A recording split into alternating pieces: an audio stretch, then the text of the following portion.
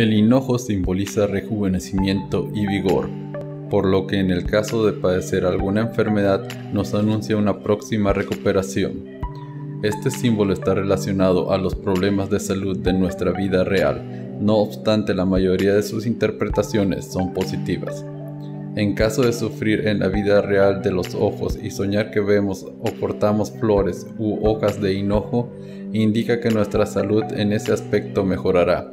Asimismo en el caso de sufrir anemia o debilidad.